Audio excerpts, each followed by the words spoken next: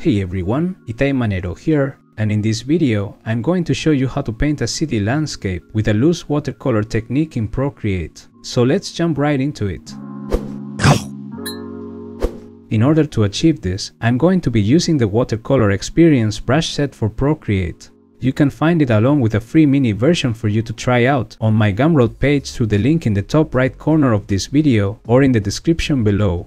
I'm also going to be using this fantastic photo reference by Luke Stackpoole. I will leave the link in the description as well in case you want to follow along. Before I start my painting, I'm going to import a couple of textures from the ones that are included with this set. The first one is going to be a watercolor paper texture. This layer needs to stay all the time on top of everything else, and the layer mode needs to be set to multiply. For the second texture, I will add a watercolor wash sheet right below the paper texture and I will set this layer to overlay mode.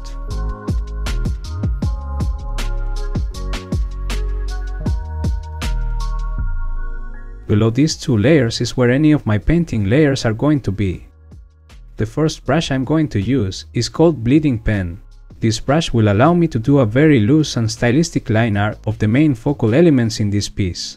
I don't want to draw everything, just a few cars and a couple of pedestrians that I can observe in the photo reference. Everything else, I will paint it directly with watercolors.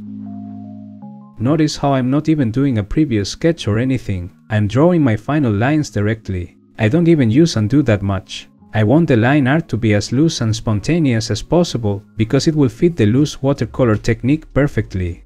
I'm also keeping things pretty simple without too much detailing. When I was happy with my drawing, I switched to another brush called Thick Splats. You'll see how awesome and versatile this brush is, because I'm going to be using it for the most part of the painting. I started by painting the buildings in the far distance. What I love about this brush is how rough and loose the edges can look.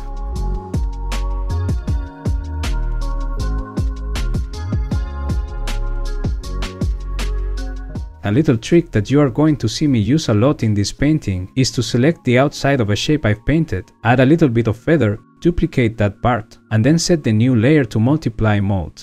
This will create a stronger dark edge effect that will make the digital watercolor look even more realistic.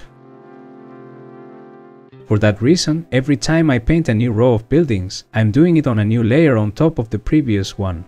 And this way I can apply the dark edge effect to each part separately Having the color wheel always visible is super helpful because it allows me to constantly make subtle color variations for a richer effect. Notice how I'm painting each new layer of buildings slightly darker than the previous one. This will help to add depth to our scene and make the buildings look more present as they get closer to us.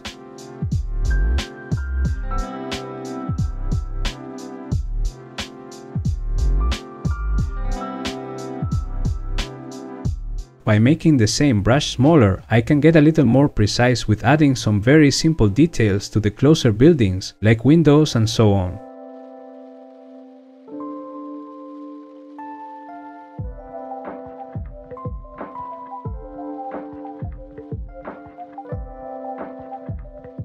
As you can see, I'm not covering the whole surface of the canvas. I'm leaving a fair amount of white, because I want the paper texture to show through and breathe. And I also want to leave some white around the edges of the canvas so it will act as a frame for the painting.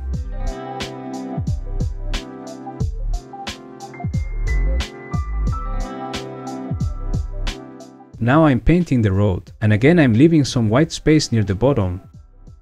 I'm also saving the whites for the reflections of the sky in the center of the road. Notice how I painted a lot of different colors in the road. This helps to create the illusion that it is a rainy day and therefore the road is wet and it's reflecting a lot of colors and lights from the environment. On top of this, I'm adding the shadows under the different cars and the couple of pedestrians. I didn't mention it before, but anytime I needed to blend between some of the colors I switched to the smudge tool with the same brush, and it works just great for the task.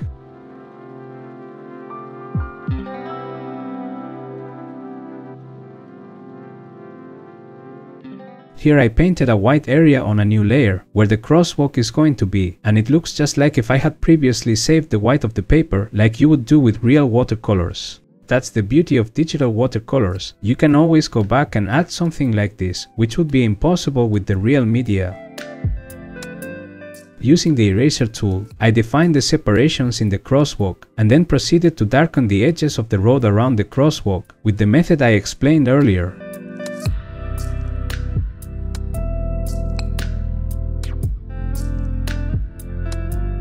On the layer where the road is painted, I painted the reflections of the lights from the vehicles and this added this super nice colorful touch to the scene.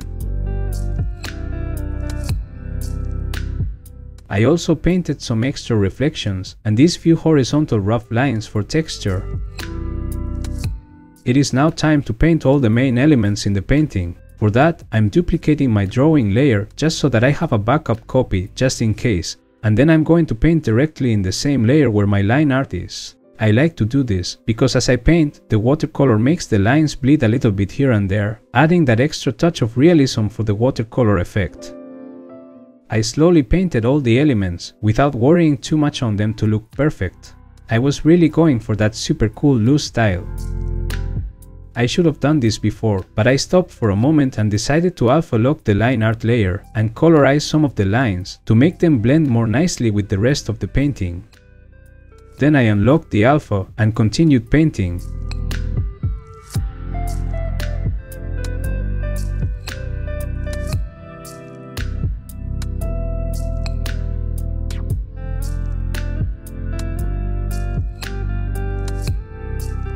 Here I painted the city lights.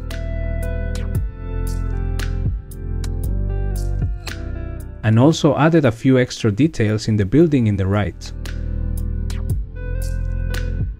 I also painted the main pedestrian with the umbrella and reinforced the shadow underneath.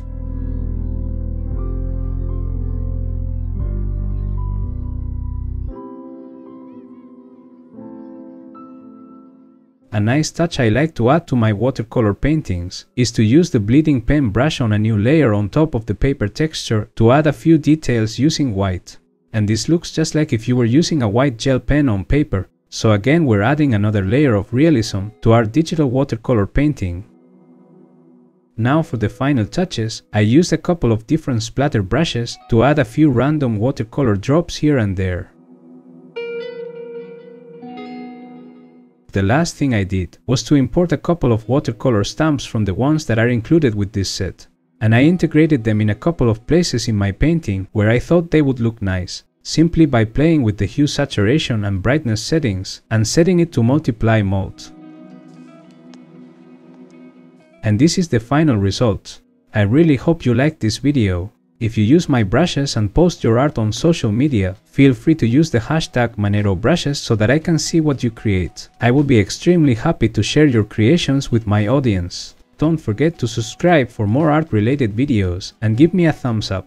Also, make sure to check out my Gumroad page, where you will find the watercolor experience brush set for Procreate and many other sets that I have available. I'm sure something will suit your artistic needs. All the links are in the description below. Okay, thank you for watching. See you next time.